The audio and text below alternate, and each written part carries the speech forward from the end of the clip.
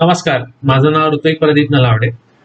Last week जसं मी अभिमन्यूबद्दल एक व्हिडिओ अपलोड केला होता तर यावेळेस पण मी तसाच एक व्हिडिओ बनवत बनवत आहे. तो हा व्हिडिओ जो आहे किचकबद्दल आहे.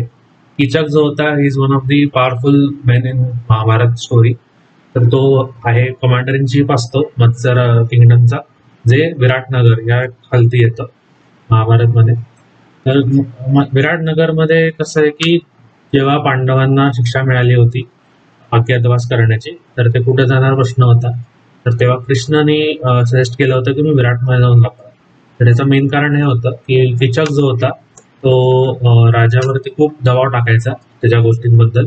त्यामुळे त्या राजाला जास्त काही रिस्पेक्ट तेव्हा नव्हती तेव्हा. मुलगा पण त्याची रिस्पेक्ट करायचा नाही उत्तर. तर कसं करणार. आणि किचक जो होता तो दुर्योधनचा खूपच चांगला मित्र आहे.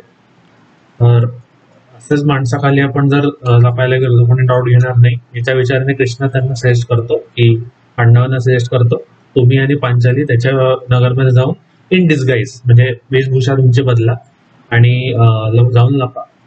तर त्यांनी वेशभूषा काय करावी? तर युधिष्ठिरने कंक म्हणून गेला.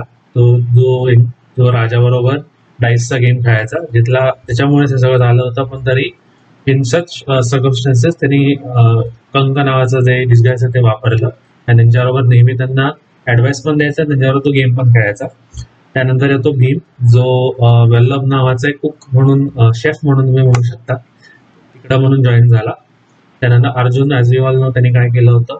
ही बिकेम झाला. त्याने जे श्राप दिलं होतं त्या उर्वशीने एक युनक बनण्याचं त्याने ते श्राप इकडं वापरलं. वर्षभरासाठी विकेम युनक आणि पुढे काय झालं मी तुम्हाला सांगत जाईल. नकुल जो आहे तो ग्रंथिका म्हणून झाला. जो हॉर्स स्टेबल जे आहे घोड्यांचा तबेला आहे तो चालवायचा. आणि सहदेव जो आहे तो तंटीमाळा म्हणजे काऊजला सांभाळायचं काम करायला त्याने लागलं. आणि द्रौपदीची फार अशी सुंदरता तिची दिसायची तर तिने घुंगट म्हणून किंवा असं कवर म्हणून ते वापरलं. आणि सैरेंद्री म्हणून एक अटायर घेतलं ज्यामध्ये ती ॲज अ ब्युटिशियन म्हणून तुम्ही म्हणू शकता. तिकडच्या राणी सैरेंद्री आणि बाकी बायकांसाठी ती काम करायला लागली. तर त्यांचं खूप चांगलं चालायला लागलं. जोपर्यंत किचकचं जे लक्ष आहे ते द्रौपदीवरती पडलं. तर त्यांनी त्याच्यावरती खूप फोर्स करण्याचा प्रयत्न केला. खूप वेळा प्रयत्न करण्यात खूप वेळा त्याच्यावरती न अट्रॅक्ट होण्याचा प्रयत्न केला. त्याला काय थांबवलं गेलं नाही. त्याने खूप वेळा राणी राणी सुदेशना यांना कंप्लेंट केलं पण त्यांनी पण काय एवढं ऐकलं नाही. Because of his all command and everything पुढे जाऊन काय झालं तर त्यांनी एकदा किचकनी सगळ्या रिमेट्स क्रॉस केल्या आणि त्यांनी भर दरबारात सगळ्यांसमोर द्रौपदीला लात मारलं. ते तिकडं युधिष्ठिर आणि भीम हे दोघे प्रेझेंट होते दोघांना बघवलं गेलं नाही.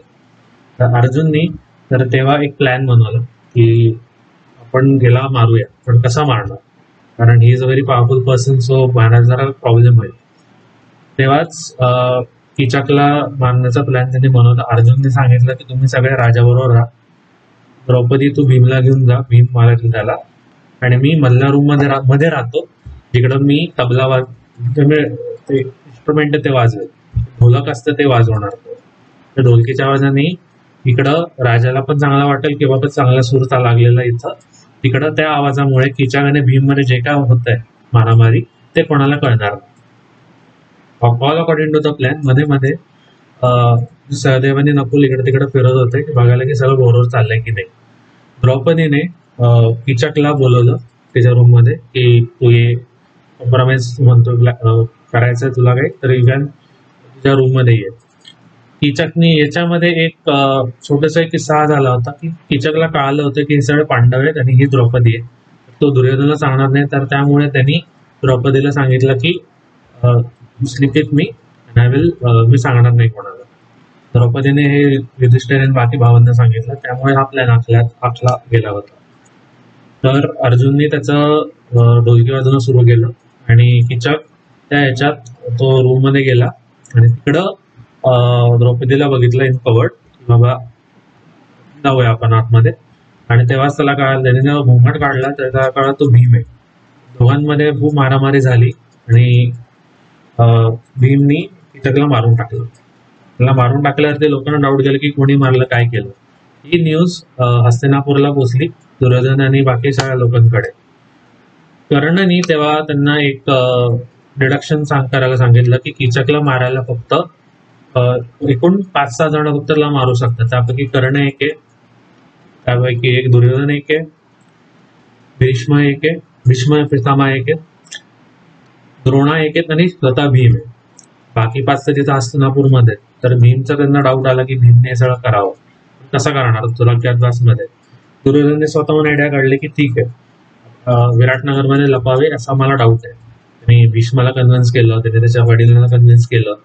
त्यांनी सगळ्यांना कन्व्हिन्स करून तिकडे घेऊन गेला. आणि पुढे जाऊन त्यांनी सगळ्यांचे तिकडचे जे काऊज असतात त्यांना पळवलं. तर दुसऱ्या साईडला दुर्योधन आणि बाकीची जी आर्मी होती ती तिकडे प्रेझेंट होती. तर विराटमध्ये फक्त आता राजा जे राजकुमार आहेत ते उत्तर म्हणून प्रेझेंट होते. तर त्यांनी विडा उचलला. की ते मी त्या बाकी गौरवांना हरवेल तर सायरेंद्री म्हणजे द्रौपदीने सल्ला दिला की तो भ्रेणाला घेऊन जा. भ्रेणाला त्याला वाटलं की ह्या युनक माझी का मदत करणार आहे? तर तिने हे सांगितलं की यांनी अर्जुनची पण मदत खूप वेळा केलेली आहे. तर तिने अग्री केलं आणि उत्तरा जी होती ती फार एकदम इनोसंट मुलगी असते. तर तिने सांगितलं की तू काय तुला हारोसेला त्यांच्या त्यांचे कपडे घेऊन ये. प्रेरणाला ती म्हणजे अर्जुननी सांगितलं की नको. फक्त जे प्रिन्स प्रिन्स आहेत म्हणजे दुर्योधन कर्ण दुःशासन यांचे फक्त कपडे घे. बाकींचे कपडे घेऊ नको बिकॉज दे रिअली रिस्पेक्टेड आहेत. असं काय झालं तर आवडणार नाही कोणाला असं. उत्तरेने त्याला अग्री केलं. आणि जेव्हा ते सगळे आले तर उत्तर साहेबांची जरा कसं म्हणणार? त्यांना घाबरले घाबरला घाबरल्यावर ते त्यांनी बघितलं जेव्हा पूर्ण एवढी मोठी करव कौरव आर्मी तर काय करणार?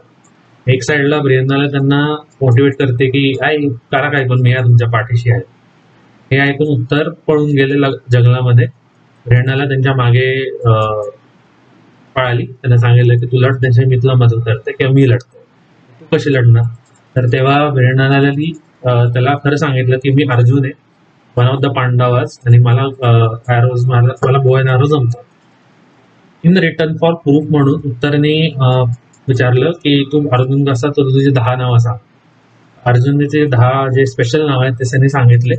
आणि ही त्याला यकीन उत्तरला बिलीव्ह झालं की मीच हाच अर्जुन आहे आपण याची मदत करूया.